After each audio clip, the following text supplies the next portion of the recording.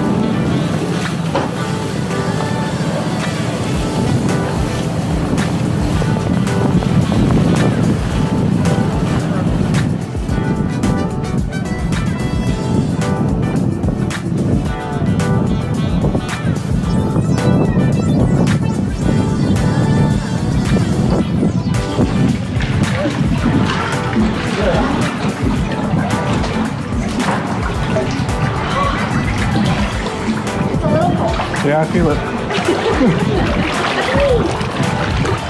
Hey guys, good morning. Welcome morning. to another episode of Richie and Vanessa Travel.